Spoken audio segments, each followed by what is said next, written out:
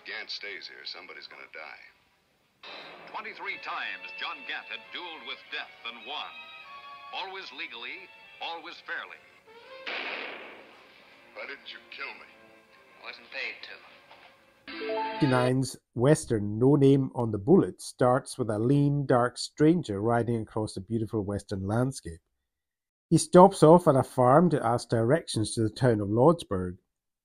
Well spoken, polite, dressed all in black and mysterious. But who is he, and what does he want?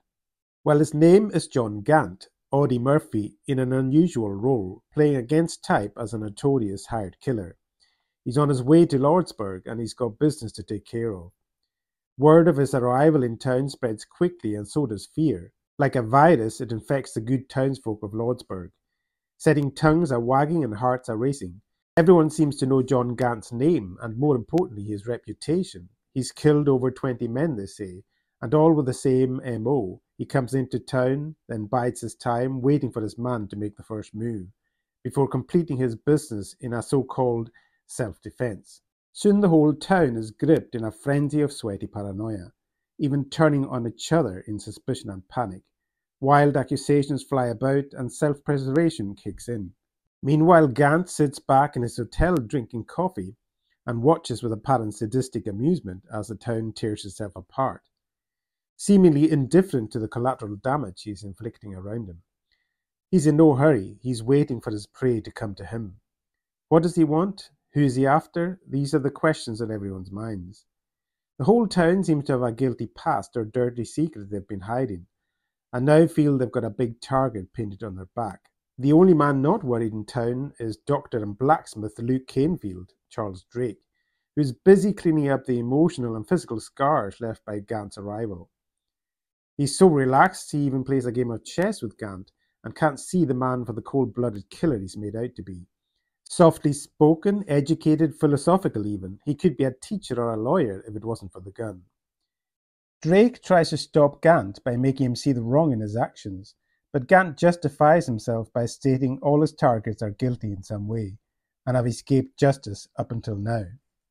The two have some great moral exchanges and form a kind of bond which, under other circumstances, might have been a friendship.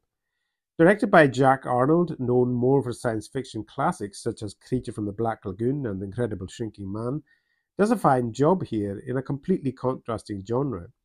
He directs smoothly, calmly letting the tension simmer and stew, while the audience tries to guess who's Gant's intended victim. For a modestly budgeted Universal Murphy star vehicle, No Name on the Bullet is a classy production, beautifully shot in cinemascope and extremely well written.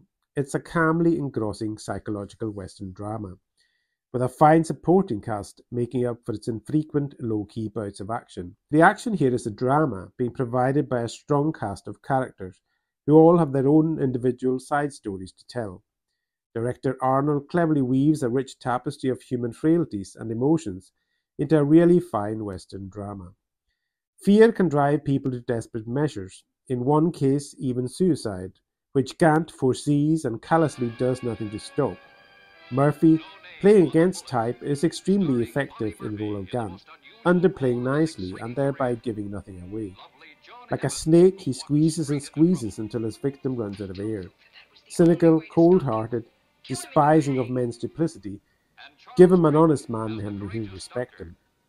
So who will stop Gant, the aging but dutiful sheriff played wonderfully by Willis Bouchey, the rash townsfolk, or the moralistic physician? Well, it all sorts itself out nicely in the end, with an unexpected but somewhat appropriate conclusion. So a really solid, enjoyable little western. I give No Name on the Bullet 7.5 Western stars out of 10. A really good watch. Thanks for watching and bye for now.